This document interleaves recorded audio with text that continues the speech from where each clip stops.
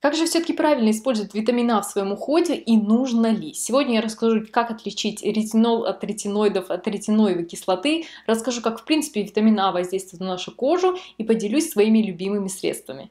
Всем большой привет, добро пожаловать на мой канал, меня зовут Катя, здесь я с вами делюсь интересной информацией о коже, об ингредиентах, о питании, о нутрициологии, учу разбираться и лучше понимать различные составы, ингредиенты, в общем, если это ваша тема, то обязательно подписывайтесь на мой канал. Сегодня мы говорим о витамине А и давайте начнем с самого начала, почему же все-таки нам необходимо наносить его на кожу. У меня очень часто спрашивают, ведь можно съесть какую-нибудь, например, морковку и таким образом получить достаточное необходимое количество витамина А для кожи. Вопрос действительно очень правильный, но у организма все работает немножко по-другому. Мы когда с вами съедаем, например, морковку, в печени бета-каротин, который есть в морковке, он перерабатывается и производится как раз-таки витамин А. После этого он распределяется, конечно же, по крови, доходит до кожи, но до кожи он доходит очень в малых количествах. Поэтому для общего, конечно, поддержания состояния кожи очень важно, чтобы витамин А присутствовал в вашей пище, но при этом, если вы хотите достичь такого именно антивозрастного эффекта, очень важно попробовать включить его именно в свой уход. Почему же все-таки витамин А является поистине одним из самых главных антивозрастных средств косметики и является, кроме того, одним из самых изученных? Так вот, оказывается, что у нашей есть специальные рецепторы, которые напрямую воспринимают витамин А в его чистом виде. Это означает, что мы, когда наносим его на кожу, наша кожа понимает этот сигнал и начинает моментально действовать и регенерироваться. В отличие от тех же самых кислот, про которые я говорила и рассказывала, как они работают, витамин А не воздействует на межклеточные связи, благодаря этому там происходит отшелушивание и более такие свежие молодые клетки появляются да, на поверхности кожи, он работает глубже, он работает на более глубоких слоях кожи, на эпидермисе и на дермисе, при этом он стимулирует эффективный такой рост и размножение клеток. Раз уж мы заговорили о полезных свойствах витамина А, то в первую очередь витамин А очень хорошо исследован и долгие годы исследовался только как очень хорошее средство против акне. Благодаря как раз таки тому, что он помогает клеткам быстрее обновляться, он помогает микрокомедонам не образовываться. Если вы, в принципе, сталкивались с темой акне, то знаете, что а, белые точки и черные точки образуются сначала как микрокомедоны в глубоких слоях кожи. Так вот, витамин А помогает этим микрокомедонам просто не образовываться. За счет этого кожа очищается и комедонов, таких закрытых бугорков, становится в разы меньше. Кроме того, на коже витамин А есть такой легкий антибактериальный эффект, и как раз таки он предотвращает размножение бактерий, которые вызывают акне. В общем, в первую очередь вам стоит обратить внимание на витамин А, если у вас есть проблема с акне. Следующая очень важная функция витамина А на нашей коже, это то, что было доказано, опять же, многочисленными исследованиями, это борьба с фотостарением. Я здесь говорю именно не с последствиями фотостарения, мы об этом поговорим немножко попозже, а именно как предотвращение фотостарения. Для многих, наверное, этот факт прозвучит немножко странно, потому что а, многим кажется, что наоборот, как мы наносим витамин А, он делает нашу кожу более фоточувствительной и наоборот стимулирует э, да, процесс фотостарения. На самом же деле происходит немножко по-другому. Недавно как раз таки проводили такое очень интересное исследование, смотрели, как кожа реагирует на ультрафиолетовые лучи, если на нее нанесен витамин А и не нанесен. Ультрафиолетовые лучи могут негативным образом сказываться на нашей коже, и в частности они разрушают выработку коллагена, то есть они блокируют вот эту связь, когда у нас клетки начинают активно производить коллаген, как раз-таки возникает эффект фотостарения.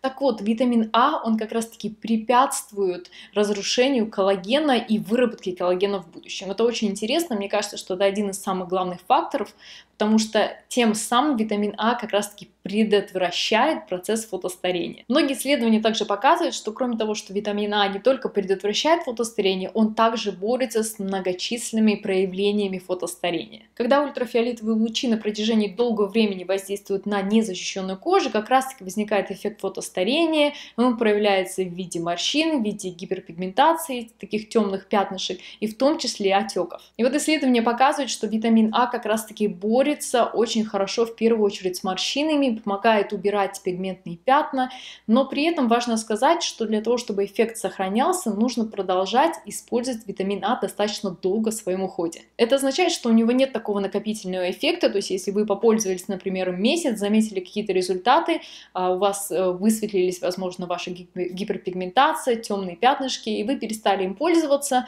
темные пятнышки опять же вернутся. То есть для того, чтобы избавляться уже от кожи, которая пострадала от фотостарения, обязательно нужно очень продолжительное применение. Все виды и все разные формы витамина А практически одинаково воздействуют на нашу кожу. То есть у них у всех есть такой эффект, который помогает предотвращать фотостарение, бороться с фотостарением и также помогать в борьбе с акне.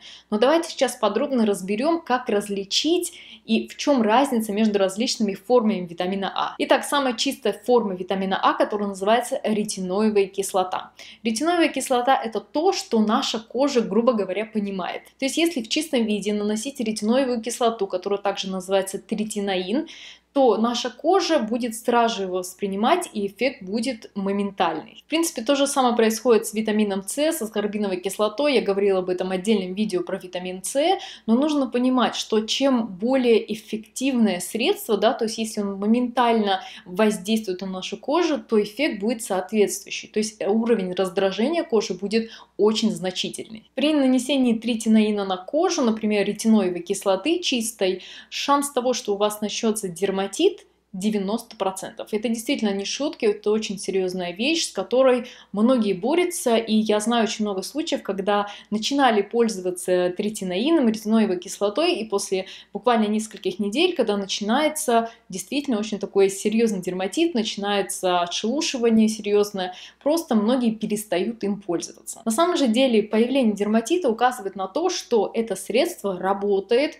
и это действительно механизм, каким образом воздействует на нашу кожу кожи. За счет как раз-таки очень такого серьезного воздействия третинаина ретиноевой кислоты он продается только по рецепту врача. То есть в Америке, в Европе, да и насколько я знаю, в принципе, в странах э, там, бывшего СНГ, да, нельзя купить третинаин ретиноевую кислоту просто так в аптеке. Напишите мне, если это не так, но на самом деле это действительно серьезная мазь, это практически такое же лекарство. Чаще всего третинаин прописывают именно в тех случаях, когда есть э, легкая или средняя форма акне, когда нужно именно вылечить кожу и в меньшей степени, например, от морщин или от отеков. Но я также знаю, здесь в Америке очень многие женщины ходят когда к дерматологу, они заказывают себе э, рецепт именно третинаина, ретиноевой кислоты и используют это как средство против э, морщин, да, то есть такое антивозрастное средство. Кроме того, очень важно понимать концентрацию ретиноевой кислоты, и я думаю, что если вы идете к врачу и получаете эту мазь по рецепту, то он обязательно вам скажет, какая должна быть у вас концентрация именно для вашей кожи, но в среднем 0,1% считается очень высокая концентрация. Также хорошие результаты исследований показали с концентрацией 0,05, то есть 5 сотых, и также 0,025%. То есть это звучит как очень маленький процент, на самом деле, поскольку это прямое идет воздействие на кожу, сама концентрация ретиноевой кислоты может быть очень маленькой. Здесь еще очень важно сказать, что все исследования, которые я сегодня упоминала об эффективности именно витамина А, конечно, конечно же, в первую очередь говорят о нанесении третинаина, ретиноевой кислоты, то есть в чистом виде, потому что другие формы, они немножко по-другому воздействуют, у них есть эффект, но он менее, так скажем, заметный. Поэтому в исследованиях чаще всего используется именно ретиноевая кислота. Второе поколение витамина А называется ретинилдегид. Вы тоже можете найти его в различных средствах, но гораздо реже, потому что в первую очередь для того, чтобы наша кожа его восприняла и начала действовать соответствующим образом, с помощью энзимов происходит происходит процесс э, переработки сначала в ретиноевую кислоту. То есть если вы наносите ретинилдегид на кожу, ваша кожа сначала переводит э, в ретиноевую кислоту, и только потом начинается все омолаживающий процесс. Это очень важно понимать, поскольку все другие виды витамина А, которые я буду говорить, они все немножко разного поколения. За счет того, что они находятся чуть-чуть дальше от самой чистой формы именно ретиноевой кислоты, они гораздо мягче, в разы мягче воздействуют на кожу. К третьему поколению витамина а относится как раз-таки всем известный ретинол. То есть, грубо говоря, для того, чтобы наша кожа поняла воздействие ретинола как такого антивозрастного компонента, на нашей коже нужно будет две обработки его сделать, да, то есть он два раза делает конвертацию ретинола. За счет этого он является очень эффективным, он достаточно эффективный даже в небольших концентрациях, но при этом он тоже помогает бороться с фотостарением, и с акне, и даже предотвращать фотостарение. Именно поэтому ретинол чаще всего можно встретить во многих средствах, и он находится в прямом доступе доступе, поскольку он не вызывает такое, что ли, сильное раздражение, как, например, ретиноевая кислота. То есть, несмотря на то, что у него эффективность такая же, как у, например, э, третинаина, но он в сто раз мягче воздействует на кожу. И вы понимаете, насколько это такой важный элемент, поэтому рабочая, очень такая хорошая концентрация ретинола в обычных средствах, которые вы можете купить в магазинах, это 1%. Одни из самых классных средств, которые я встречала с ретинолом, это бренд Paula's Choice. У них очень классные, продуманные, а, прямо до мелочей формулы, потому что кроме того, что там есть непосредственно ретинол а, в количестве 1%, который будет очень раздражающий, все равно воздействует на вашу кожу,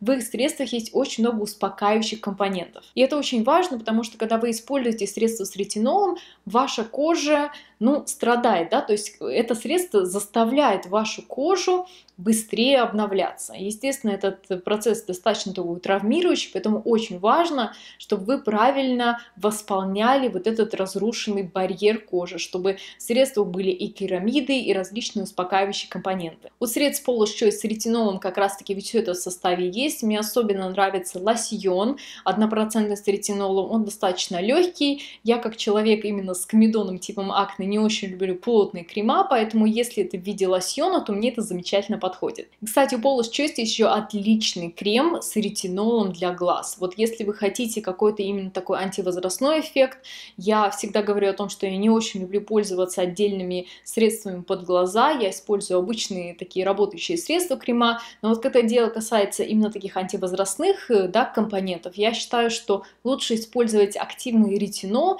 и использовать специальную его формулу, как э, крем под глаза. Ну конечно же, очень знаменитый крем от бренда Drunk Elephant, который называется Appassioni. Там тоже ретинол находится в количестве 1%. Повторюсь еще раз, это очень такая высокая работающая концентрация, которая также может вызывать действительно дерматит и будет обязательно отшелушивание и так далее. Но в целом именно крем от Drunk Elephant, в его составе есть достаточно много масел, и он плотнее, чем э, тот же самый лосьон от Paula's Choice. Поэтому, если у вас такая более сухая кожа, кожа, более возрастная кожа, то обратите внимание именно на этот крем. Я знаю, что он стоит достаточно дорого, как крыло от Боинга, как я говорю, но в этом средстве действительно собраны лучшие компоненты, и баланс этих компонентов ну просто отличный. Поэтому если вы хотите инвестировать уже в антивозрастное средство, я рекомендую инвестировать в очень такие хорошие, проверенные формулировки и умные формулировки, где вы не просто получите раздражение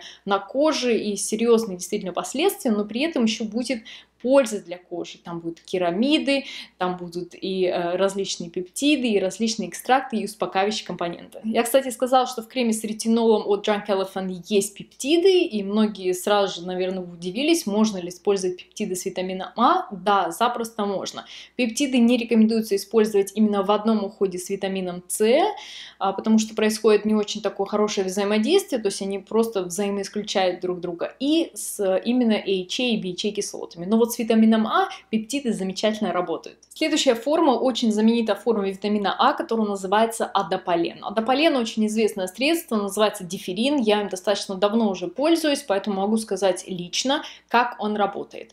Грубо говоря, это тоже витамин А, который находится в третьем поколении. То есть это практически на уровне ретинола. Но тем не менее, это средство действительно очень эффективно, и это единственное запатентованное средство, которое является отличным именно в борьбе с акне. То есть не только каким-то антивозрастным, но именно в борьбе с акне. Он очень хорошо помогает предотвращать появление как раз-таки микрокомедонов, работает очень глубоко на коже, и при этом он просто замечательно выравнивает текстуру лица. Я этим кремом уже пользуюсь, наверное, на протяжении месяцев 10, покупаю его в таких вот небольших тюбах, но мне просто удобнее, что они поменьше.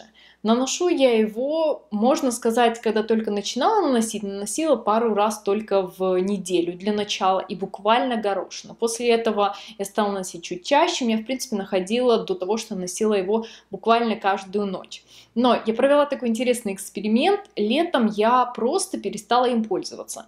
Не потому, что я переживала за гиперпигментацию, просто перестала пользоваться. Мне показалось, что ну, кожа моя уже выровнялась, мне нет необходимости им пользоваться. И, наверное, на два месяца я полностью от него отказалась. Через два месяца я поняла, что мне нужно к нему возвращаться, и я почувствовала действительно этот эффект. За эти два месяца, пока им не пользовалась, как раз-таки происходил, наверное, процесс э, образования этих микрокомедонов. Он происходит медленно, поэтому уже к концу, наверное, первого-второго месяца я заметила, что высыпание комедонов стало в разы меньше. Я сразу же подключила снова а, мой любимый диферин, и я чувствую его воздействие. Но даже несмотря на то, что я им пользовалась достаточно долго, потом прекратила, я начала с ним опять с ним э, пользоваться буквально раз, два раза в неделю, и у меня начался дерматит. У меня снова начала очень шелушиться кожа, она сейчас в таком состоянии, когда она гораздо уже лучше, чем была в плане именно высыпаний и акне, но при этом, конечно, поверхность кожи и макияж ложится не очень хорошо. Поэтому диферин я действительно считаю очень рабочим средством, он не зря проходил большое количество исследований, он действительно работает, особенно для моего типа акне, комедонного типа акне, я его могу рекомендовать. Но, опять же, рекомендую с осторожностью, потому что это действительно лечебная мазь. Если вы не готовы к такому, ну, немножко травмирующему эффекту на коже, то лучше просто не начинать, э, либо просто посоветоваться с вашим косметологом. Ну и, наверное, одна из таких последних новинок в семье витамина А – это Granactive Retinoid. То есть это ретиноиды совершенно нового поколения. Сейчас они очень громко звенят, многие их используют, они считаются очень мягко воздействующими на кожу, и я расскажу почему. Полгода назад я, наверное, попробовала вот этого средства от The Ordinary, это Granactive Retinoid in Squalane, здесь 5%. По сути говоря, это ретиноид совершенно нового поколения. И как говорят исследования о том, что он обходит обходит вот эту вот цепь конвертации в несколько уровней э, и э, потом, который переходит в ретиноевую кислоту, и благодаря этому он воздействует напрямую на рецепторы, но при этом не вызывает такого раздражения, как третиноидная и ретиноевая кислота. Использовав несколько месяцев Granactive Retinoid, могу сказать, что да, действительно, он не так сильно воздействует на кожу, такого сильнейшего раздражения у меня не было. Тем не менее, я все-таки придерживаюсь мнения, что все, что касается ретиноевой кислоты, ретинола, адополена, все эти ингредиенты были исследованными очень много лет. То есть их исследовали, проводили действительно испытания, и люди, ученые понимают, да, как это средство воздействует на кожу. Что касается же Granactive Retinoid, мне кажется, это немножко такой, ну, немножко маркетинговый ход. Это действительно очень хорошая вещь, которая не будет раздражать кожу. Отлично, кстати, подойдет для тех, кто только начинает использовать витамин А в своем уходе. Но при этом все-таки, на мой взгляд, он будет менее эффективный, чем, например, другие виды витамина А. Кстати говоря, если вы будете в составах искать вот это вот средство Granactive Retinoid, потому что он сейчас много где используется, то ищите в составе такое название, как Hydroxypinocolone Retionate. Я обязательно, конечно же, напишу название, очень сложное название, но чтобы вы понимали, что если на этикетке заявлено именно антивозрастные какие-то эффекты этого средства, чтобы вы в составе могли найти, какой именно тип витамина витамина А там находится. Как раз таки вот этот вид ретинола сейчас активно используется в средствах э, бренда Sunday Riley, у них есть очень известное масло Луна, ночное масло как раз таки с этим видом ретинола, и также есть средство, которое называется A+, оно считается более эффективным, я его сама не пробовала, но действительно по составу оно должно быть достаточно и мягким, и эффективным. За счет того, что у него кроме э, нового такого Granactive ретиноида, да, очень мягкого ретиноида в составе есть также и обычный ретинол. Но еще пару слов об этом средстве от The Ordinary. Я знаю, что многие, наверное, ждут моих отзывов. Я, по-моему, коротко говорила о том, что мне это средство не очень понравилось. Но как раз-таки не из-за того, что в составе есть э, ретиноид, да, который, конечно же, безусловно, имеет очень хорошее антивозрастное действие, а именно из-за того, что он находится в сквалене. Сквален это такое маслянистое вещество, которое очень натуральное для нашей кожи, оно не должно забивать пор, но я все-таки поняла, что мне, наверное, сквален немножко тяжело ложится на мою комби-кожу. Тут очень все индивидуально, если у вас тоже комби-кожа, не означает, что для вас сквален будет как-то негативно воздействовать, но просто обратите внимание, потому что мне все-таки ретинолы лучше работают в виде каких-то очень легких сывороток, лосьонов или гелей. Поэтому думаю, что периодически я все-таки буду возвращаться к этому ретинолу от The Ordinary, может использовать его в те дни, когда я не использую диферин. Но э, все-таки вот эта формула с маслом, ну, немножко не мое. Еще бы хотела отметить очень такой важный момент, который касается использования витамина А в уходе. Если вы находитесь в стадии планирования беременности или кормите, или беременны в данном случае, то лучше все-таки не использовать витамин А ни в каком виде. Несмотря на то, что действительно нет никаких доказательств того, что он как-то негативно влияет а, на ребенка, но я думаю, что в принципе лучше не рисковать, потому что никто не будет проводить исследования на беременных женщин, как вы понимаете, поэтому лучше все-таки избежать, потому что тот тот ингредиент, который влияет на более глубокие слои кожи. Ну и в целом, если вы решите использовать все-таки какой-то вид ретинола для вас подходящий, следуйте тому правилу, что нужно начинать очень с маленьких доз. Я думаю, что об этом говорят все, это касается и кислот, но тем не менее мы все начинаем прям очень большое количество наносить и ждать результата мгновенного. С ретинолом такой момент не пройдет, потому что чем больше вы будете его носить, тем больше будет раздражение. Поэтому наносим для начала где-то один раз в неделю, может быть два раза в неделю на ночь и смотрим, как наша кожа себя чувствует. Лучше все-таки увеличивать постепенно э, частоту применения и ждать результатов приблизительно где-то через 2-3 недели. Но лучшие результаты все-таки достигаются именно в долгосрочном применении.